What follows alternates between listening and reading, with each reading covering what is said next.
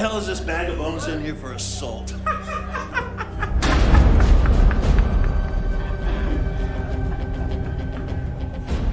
don't know me very well.